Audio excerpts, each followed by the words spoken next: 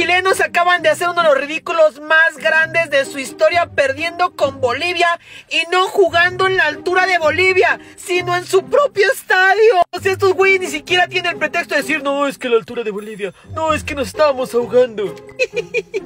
¡Ay, los chilenos son un meme! y luego escuchas a los muy descarados, no, weones, que somos la cuarta de América, weón. Son penúltimos en la clasificación de la Conmebol.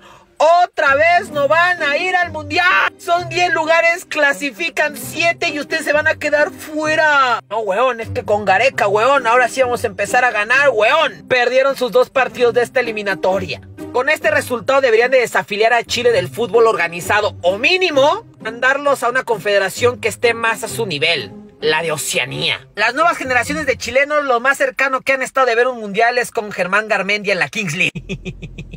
Chile en condición de local fue derrotado por la selección de Bolivia, que no ganaba de visitante desde 1993. La roja penúltima en la tabla clasificatoria dejó pasar una chance de oro de sumar tres puntos frente a un rival históricamente muy débil, que en los papeles era más que accesible. La prensa trasandina no ocultó su dolor frente a la inminente tercera eliminación mundialista consecutiva, remarcando que si no le ganaste a Bolivia de local, con el fixture que se te viene, estás al horno. Competido. Este era el partido, finalmente, ¿no? Después de varios meses, de los tres amistosos en Europa, de la Copa América, de ese partido con Argentina que se podía perder, esta era la final para nosotros, porque perder con Bolivia o empatar incluso nos dejaba muy complicado para eh, clasificar. No solamente porque la tabla ya se empieza a ver lejana, eh, porque perdimos dos partidos de local o empatamos dos opciones de local con Paraguay y Colombia en encuentros que eran eh, favorables que se podía haber dado de otra manera, sino porque lo que le queda a Chile es realmente muy difícil y van a empezar a...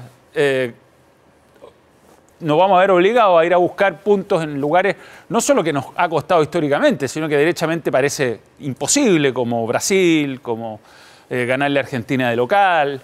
el próximo partido nada menos, nada menos que con Brasil de, de local, así que se empieza a ver todo cuesta arriba, los otros mejoran y la preocupación mostrada por Manuel de Tesanos Pinto está fundamentada en que Chile tiene un fixture realmente muy complicado. Brasil de local, Colombia de visitante, el Clásico del Pacífico, Venezuela de local, Paraguay en Asunción y local contra Ecuador. La frustración de no asistir a un tercer mundial consecutivo provocó que muchos hinchas explotaran de frustración. El Tano Pazman chileno apagó la tele durante el match. Ahí culiao. Apaga la tele, weón, no veamos más que sus tu madre, weón. No me vengan con weá después a mí, culiao, de que, de que soy chaquetero y weá. ¿Cómo voy a aplaudir esta weá? ¿Cómo voy a aplaudir esta weá con su madre, weón? Y el gol, weón, el culiao se cayó solo el de, de Bolivia, pero ¿cómo ahora le hacemos un gol, weón, así de rápido? Con madre, weón, la concha tu madre, no quiero más, weón, apaga la tele, culiao. Apaga con tu madre. Ya, vos que ajuste para tu casa también, culiao. No se ve ni una weá más aquí, culiao. Estamos en mi casa y no veo más. No, anda acá la chucha, no veo ni una weá más, culiao. Vaya, concha tu madre, weón. Si algo le faltaba a este momento de Chile, era que Bolivia te gane de visitante con un gol de un tipo llamado Miguel Terceros. Sí, terceros mundiales consecutivos afuera. Esa situación. Alberto Jesús López. Acá se viene Bolivia con todo dentro del área. El centro atrás. Un hombre que pasa ahí. Gol de Bolivia.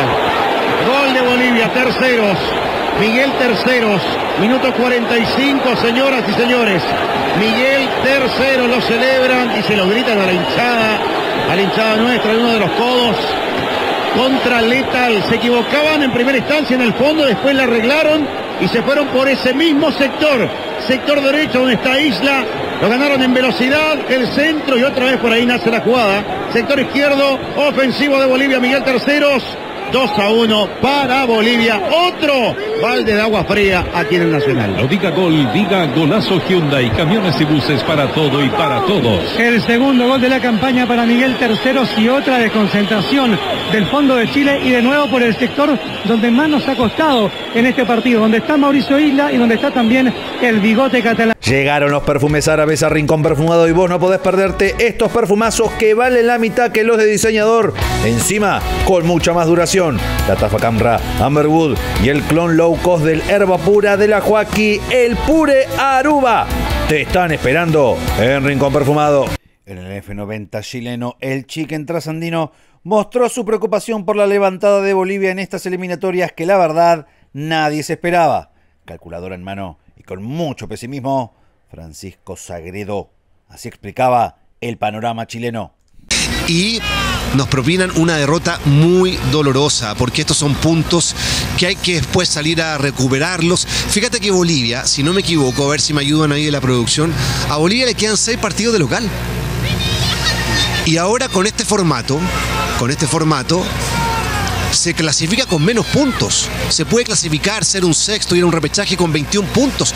Bolivia, Bolivia que va a seguir jugando ya en el campamento base del Everest en el Alto, tiene una chance con estos tres puntos, con la victoria del otro día. Entonces, es fregado y se nos viene Brasil acá, muy difícil, y se nos viene en Barranquilla, Colombia. Los partidos hay que jugarlos y, y la verdad que, mm, que estamos desilusionados, como ustedes, como toda la gente, y vamos a analizar en detalle la actuación individual de los jugadores con niveles muy bajos, la verdad.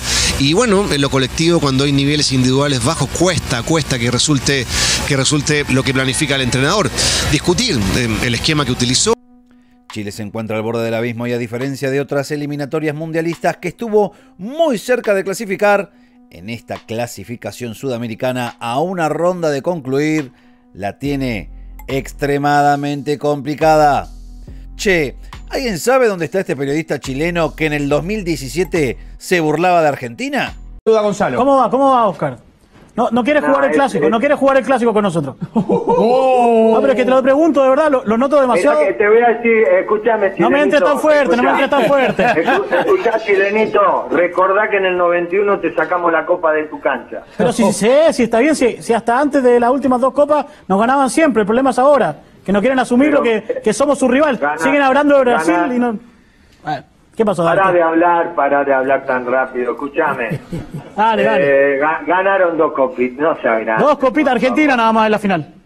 Mirá que si le ganamos los metemos en quilombo, se van a meter ahí abajo, después los van a putear.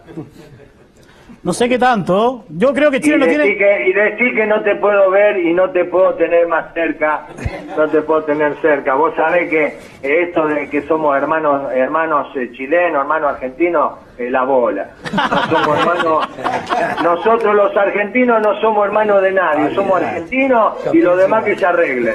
Porque ustedes no nos quieren y nosotros no los queremos. Listo. Pero ¿cómo no los vamos a querer si le ganamos las últimas dos finales?